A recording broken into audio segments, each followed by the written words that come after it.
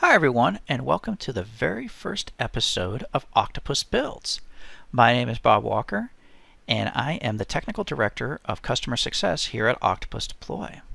Now, since working since I started working at Octopus Deploy, I've helped a number of different customers configure their Octopus Deploy instance, as well as helped uh, as well as I was a, actually a customer of Octopus Deploy before we even starting at Octopus Deploy. And I've had a chance to configure a number of different things. And so what I want to do with this series is walk you through how I would set up a demo or how I would set up a project from scratch. And so what you're going to be seeing here is I'm going to be working as a fictional DevOps engineer, uh, same name, Bob Walker, I can't confuse myself. And what I'm going to be doing is helping out the brand new project called Trident. And so this is a brand new project at a fictional company called Octo Pet Shop.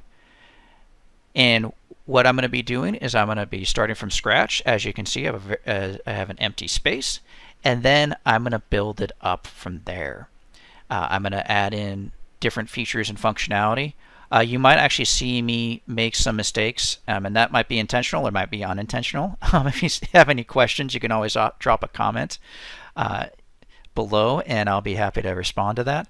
Uh, but the idea behind this is just to kind of show you how a project could naturally evolve within Octopus Deploy, depending on your experience, depending on your expertise, or anything along those lines, in between, anything in between by, by that. So what I want to do is I'm just going to go ahead and get started. So let's talk a little bit about Octo Pet Shop. So Octo Pet Shop is a fictional company, and it has been around for 20 years.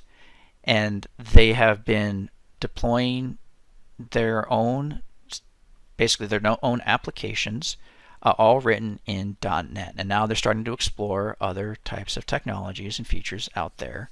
Uh, but they have been around for quite some time. They have a couple hundred developers. They have about a, let's say, a couple dozen different development teams. And they have separate teams for DBAs, separate teams for QA, web admins, and DevOps, and so on and so forth. And they have a number of different standards. So what I'm going to be doing is I'm first going to be following the existing standards that are already here. Um, and that is environments. Let's talk about environments first, because that's the very first thing you have to set up. It even shows you in our Getting Started guide. So the very first environment is what's going to be initially deployed to. So in this particular case, we have development. Um, in OctoPetShop's case, uh, development is used by the various developers, and they use that as a way to kind of test out changes uh, without anyone else coming in and messing around with stuff. So it is their environment, they are running their VMs within that environment. Now when I say environments, it's kind of a, a group of different machines. A very common environment that almost everyone uses is production. That is a probably the most common thing you hear about. Like, hey, I just deployed this to production. Hey, I just deployed this to, you know, I just push it out to production or anything like that. Um, but before that, for almost everyone else, they're not deploying straight to production unless they have like two people. um, most companies, especially larger companies, they're going to have multiple environments before something can make it to production because there's various different levels of stability as well as testing that's going to occur at each environment. At development, it's not going to be very stable. Whereas, say, a QA environment used by the QA team or business owners or business analysts, that's going to be much more stable. And the expectation is this is something that the QA team can use without uh, worrying about the development team coming coming in and messing everything up. And so typically we see things go to development, it cycles through until it becomes a little bit more stable, then it gets pushed up to QA. Now after that, I commonly see staging. Um, or you can call it integration, or you can call it pre-production, whatever the case may be. And that's typically a mirror of production. So if I have two servers in production for this application, I'm going to have two servers in staging. Uh, oftentimes, I actually see companies go through and they'll make copies of data from production down to staging after they sanitize a whole bunch of data. But that way they can kind of load test different things. They can verify how everything's going to wor work with the current version of code. So staging is typically uh, production minus one version. Um, it's as close to production as you can get. You can test it. You can test bug fixes in production. Maybe there's a performance problem or anything like that. It's a really good way to test something out without actually pushing it production and causing any sort of downtime. So I have these four environments. Now I want to need is I need some deployment targets. For this series, um, I could get very quickly bogged down talking about uh, Windows targets or Linux targets, Macs, uh, go to Azure, do web apps, AWS, maybe do some ECS clusters or Kubernetes. My concern is that's going to kind of muddy the waters, especially for what I'm trying to do with this particular series. So what I'm really going to do is I'm just going to focus in on cloud regions. So cloud regions, it's just a way to kind of, it's kind of a pseudo target, if you want to say it. It's, it's a good way that I I use to test out different scripts or different uh, deployment processes or anything like that. Now, when you have a target, you're going to give it a name. So I'm just going to call this Trident Web 01. And you give it an environment, so D. And I recommend following whatever naming conventions you've already established within your company. Um, I want to get too hung up on naming otherwise. Uh, just do something that makes a lot of sense. Now, roles is something that's actually rather important. So think of a role as a tag for a server. And some folks I see do something like, hey, I'm just going to do web server, especially for someone who's just starting out. Now, that's okay, but I much prefer something like this, Trident Web. So I know exactly who is using this particular target. Um, and what will happen is this shows up when I look at the deployment targets screen as what environment as well as what tag is associated with it. So I'm going to add in a few more cloud regions to kind of flesh this out. Test, oops, Trident Web 01. Ah, I'm so used to doing test, not QA. Ah, whoops. So let's go ahead and add the add the the role, and let's go ahead and let's keep on adding in all the various things. Now with staging, I'm going to ha have two web servers in production, so I want to make sure I have two web servers in staging because, again, it should be a mirror of what we have in production. Um, in, a, in a perfect world, things would be uh, mirrored all the way down to test and even development, but uh, that's not always what we find out. Web 02. Sometimes it's a cost thing, sometimes it's a resource allocation. There's a finite amount of uh, compute resources that's out there, maybe in your self-hosted data center, or you're trying to keep your costs down for cloud for uh, cloud costs like Azure or AWS. You know, it everyone has their reasons as to why they don't have a exact match all the way down in test and development or QA and development. It's whatever floats your boat. Um, it's whatever makes the most sense for you. I, I, I wouldn't get too hung up on this. Octopus deploy will work just fine either way. Ups P Trident Web 02.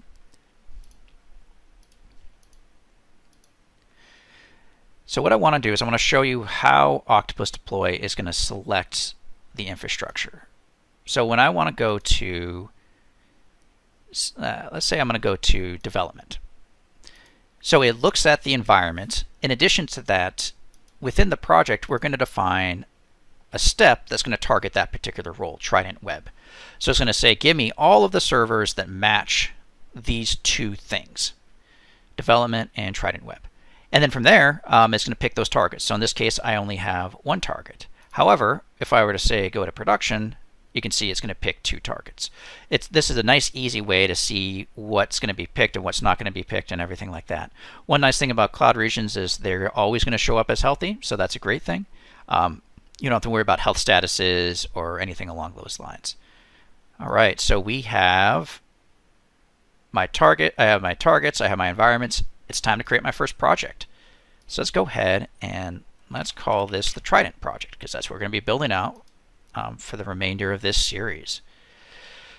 So a couple of things. Let's go ahead and let's define our deployment process. What I like to do, especially when I'm standing up a new Octopus deploy instance, is I like to come in and just verify that everything is working. And I, I want to do that in the easiest way possible. The easiest way to do that, excuse me, I kind of jumped right to that, is picking a step that just runs a script. I'm not going to try to do anything else. I just want to run a simple script.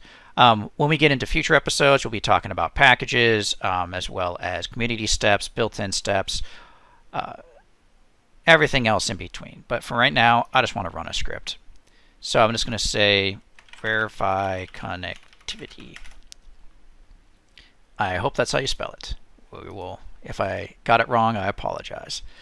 Uh, the next thing we're going to do is we're going to de determine, hey, when, where is this going to run? Um, I'm just going to run this on each deployment target, and I want to go ahead and write host hello world. So what this is going to do is just going to print out the text hello world. Nothing complex behind that at all. So let's go ahead and save this, and we can create a release. Got an initial version. I like starting out with 001. Um, that just shows everyone, hey, this is kind of the first phases of this deployment process. We'll we'll change it up once we start adding in packages and everything like that. But for now, let's just verify all the connectivity is working. So it's going to it picked D Trident Web 01, which is what I expect it to do. It behind the scenes, the regions are actually running on dynamic workers, uh, but for this one, I, I already have everything all pre-ready to go. So I'm going to go ahead and it prints it out. Hello world, happy days. Now from here, I can go ahead and push this up to QA.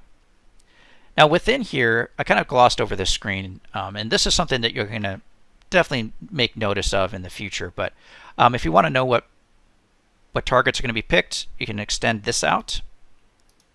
It'll tell you all kinds of different things.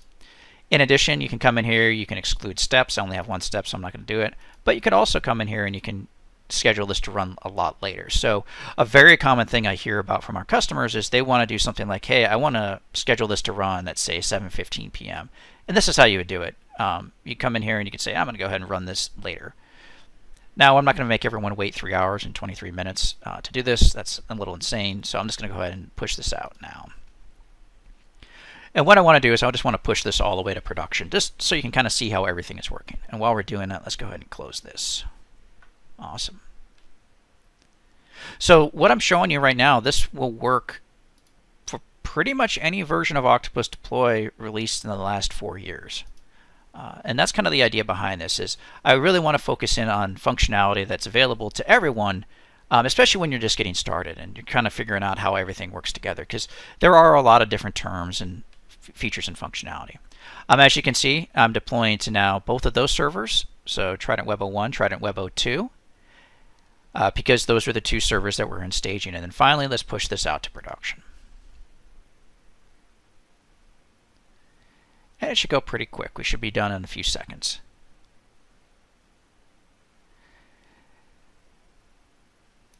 Of course, I say that, then it takes a lot longer. it's just how the world works, I guess.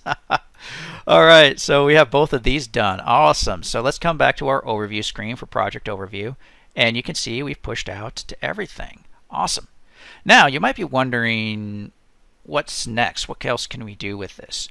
Um, the first thing I want to do before we end this episode is I'm not a really big fan of that logo. I think it could get a little bit more pizzazz, especially to reflect what we're going to be working on. So I already have something picked out. Now you might be wondering how I picked the term trident. Well, it seems like every image that I see with an octopus, especially when you start talking about, hey, what captures octopus, it always seems like they have some sort of trident and it's always super metal looking. Well, this is the most uh, metal looking trident I could find inside of uh, the icons that are provided by Octopus Deploy. And let's get this a nice green color to it. I like to do this just to add a little bit of pizzazz.